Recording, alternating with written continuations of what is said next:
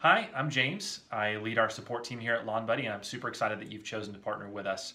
Uh, today, I want to go through a couple of things about bids and estimates that should really help your business.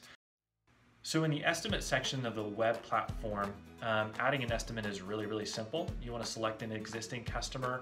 Uh, you can search for that customer right here, and then go ahead and pick the address that you want to serve them at.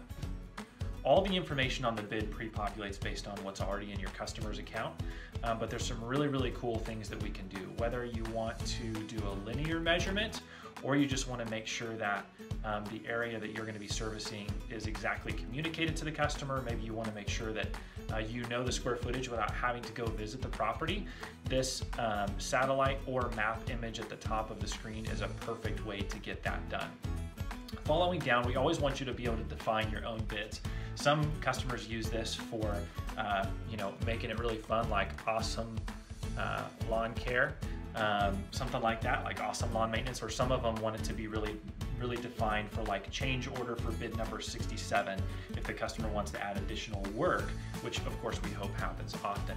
Uh, as I said, all the all the information on you and your customer are there, and then you're going to either add a general item or a time item. If you don't break out labor and materials, a general item will work perfectly for you. It might look something like this. Maybe it's going to be 60 bucks a week that you're bidding for. Your sales tax is zero because in your state you don't pass that on to the customer.